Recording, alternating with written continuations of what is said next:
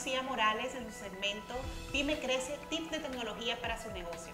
El día de hoy estaremos abordando un tema muy importante a la que toda empresa, sin importar su tamaño, tiene que prestar atención, la ciberseguridad.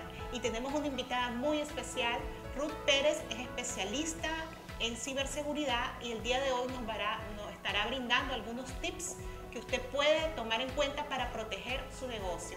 Hola Ruth, ¿cómo estás? Bienvenida. Buenas tardes, Lucía, mucho gusto. Es un placer estar acá con ustedes. Bueno, en realidad, eh, a medida que va creciendo esto de la Internet de las Cosas y a medida de que tenemos más dispositivos inteligentes, se hace necesario ponerle énfasis a lo que es la ciberseguridad. Por ejemplo, te das cuenta que ahora tenemos teléfonos inteligentes donde tenés redes sociales, tenés este, comunicación instantánea, tenés tu laptop personal, pero también este, tenemos empresas pequeñas que manejan sistemas financieros y es de vital importancia que pongan énfasis en lo que es el parchado, de los sistemas operativos como base principal para proteger su sistema ante un ransomware o un phishing. Ahí me gustaría que hagamos una pausa eh, para explicar un poco qué es un phishing y qué es un ransomware, para que eh, nuestros televidentes este, nos puedan, puedan entender y puedan saber cómo actuar si son víctimas de alguno de estos ataques. Bueno, quisiera explicarles que el ransomware es un programa malicioso que lo que intenta es eh, robar información personal de la empresa o, de un individuo. Y la, y la idea es que una vez que tiene esta información, lo que hace es enllavarte la computadora, te la secuestra, no tenés acceso hasta que vos pagues cierta cantidad. Y, pero, ¿cuál es la metodología que utilizan los, hackers para este tipo de, eh, La metodología es eh, intrusión a través de la red. Entonces, lo que debe, hacer una empresa es, eh, primero, eh, asegurar los puertos de red, no dejar cualquier puerto vulnerable abierto para que un atacante venga y robe tu información. Lo otro que debe hacerse es el parchado, porque los sistemas operativos a veces vienen con ciertos defectos de seguridad y entonces se hace necesario hacer un parchado de los sistemas operativos. Si se pone énfasis en estas dos cosas, una pyme puede protegerse de ese tipo de, ataques como el ransomware. En el caso del phishing, se debe tener cuidado con los correos electrónicos que se reciben. Por ejemplo, si de repente te llega un, este, por ejemplo, un correo de una entidad financiera con la que vos tenés tal vez una cuenta, se debe revisar los remitentes.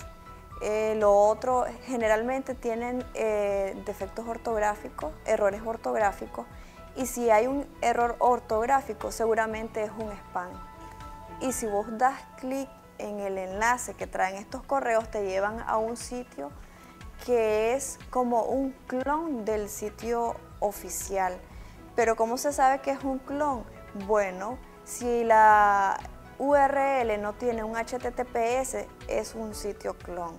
Entonces, de esa manera lo que hay que hacer es evitar dar clic en ese enlace cuando se recibe un tipo de este correo. Lo otro es que ninguna entidad financiera te va a pedir datos personales a través de un correo. Se tiene que tener cuidado con eso.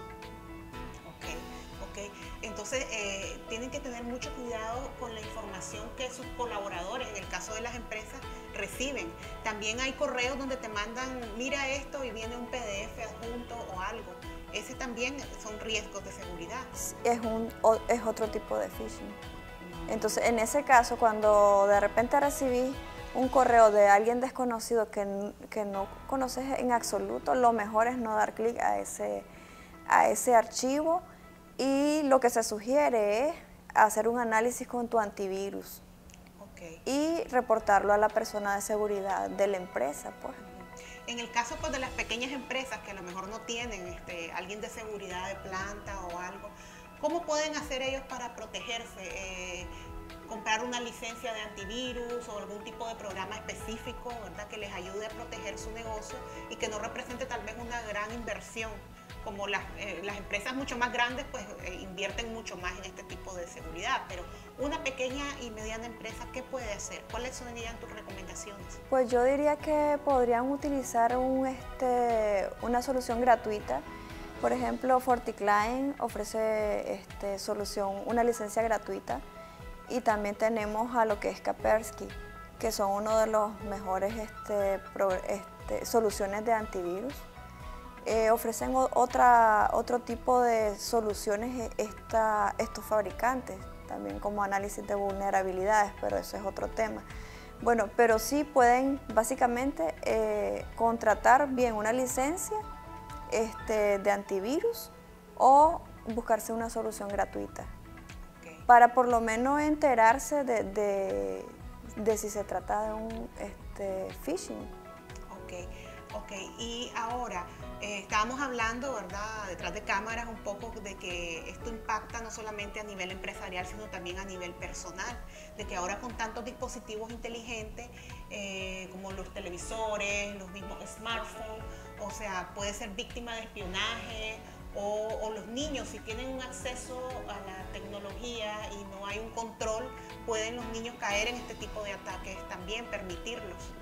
Sí, de hecho los niños son un blanco para los ciberdelincuentes, porque ahora los niños también quieren tener este, acceso a la tecnología y una manera de protegerlos pues, es este, buscando soluciones que te permitan establecer un control parental y evitar que ellos naveguen eh, a sitios no seguros. Eh, ¿Nos podrías dar por lo menos tres recomendaciones básicas que puede adoptar un negocio para, protegerse de estos ataques? Eh, en primer lugar, educar a toda persona que use una computadora. Si le llega un correo de, personas desconocidas, no dar jamás clic al enlace que viene en el correo si se sospecha que es un phishing. Lo otro, jamás descargar un adjunto que, no que viene de dudosa procedencia.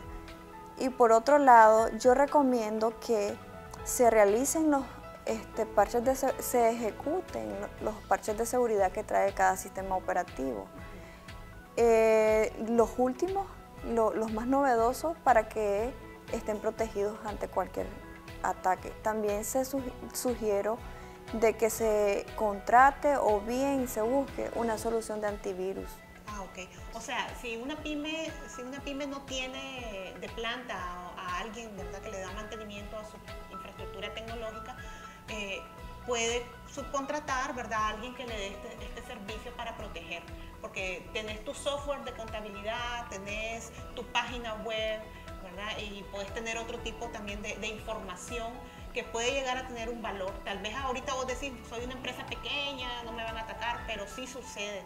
Yo estaba comentándole a Ruth de que estaba leyendo una noticia en Estados Unidos de que es una agencia de publicidad que fue, fue a la quiebra porque tuvo un ataque de ransomware. Le secuestraron la información y lo que pedían era tanto dinero que no pudieron pagarlo y en diciembre tuvieron que cerrar sus puertas. O sea, tan así puede llegar a afectar este tipo de, problemas de seguridad a un negocio. Y ahorita estamos en una, en una época que estamos todos conectados y, y vamos a ir más hacia eso.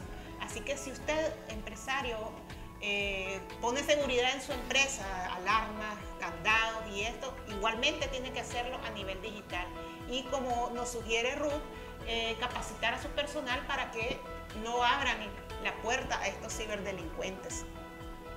Muchísimas gracias Ruth por tu tiempo y eh, porque sabemos que sos una ingeniera bastante ocupada en, este, estos temas y, por compartir con, todos nuestros televidentes este tipo de información. Eh, esperamos nos acompañen en otra edición más de Pyme Crece. Eh, soy Lucía Morales, muchas gracias.